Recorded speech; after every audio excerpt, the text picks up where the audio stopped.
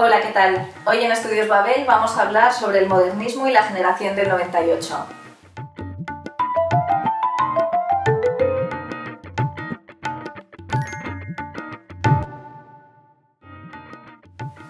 En 1898, bajo la regencia de María Cristina de Habsburgo, España pierde sus últimas colonias ultramarinas, Cuba, Puerto Rico y Filipinas.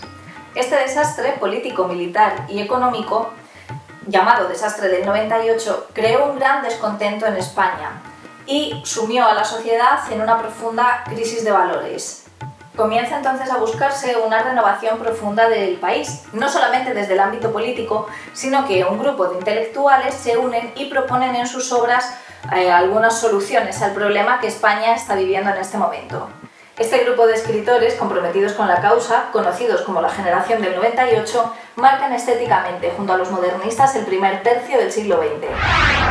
Además de las profundas crisis de principios de siglo y las ansias de regeneración, este grupo de escritores tiene algunas características más en común. Por ejemplo, la búsqueda de la esencia de España, el tratamiento de Castilla y su intrahistoria, es decir, la historia de las vidas anónimas, la búsqueda de referencias en la literatura medieval y además en autores extranjeros, y el tratamiento de algunos temas filosóficos como el destino del hombre, el sentido de la vida o la religión.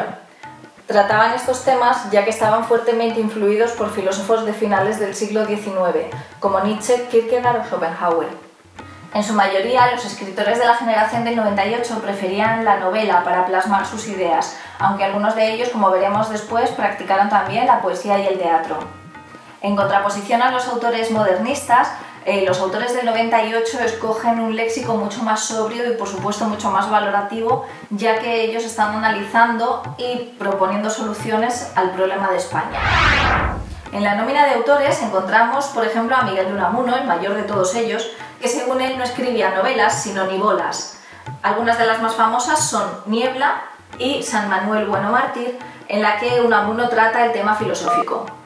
También debemos mencionar a Zorín y su obra La voluntad, en la que el autor insiste sobre la necesidad de regenerar el país a través de un esfuerzo colectivo.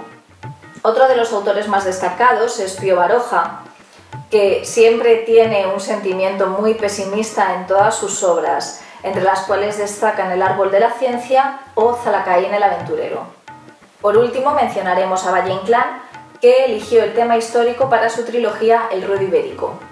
Respecto a otros temas, el poeta Antonio Machado se alejó poco a poco del modernismo de sus primeras obras y publicó Campos de Castilla, un poemario puramente noventayochista.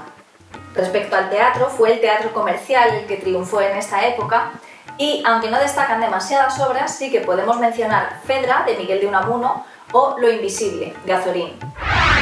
Espero que os haya gustado. Un saludo.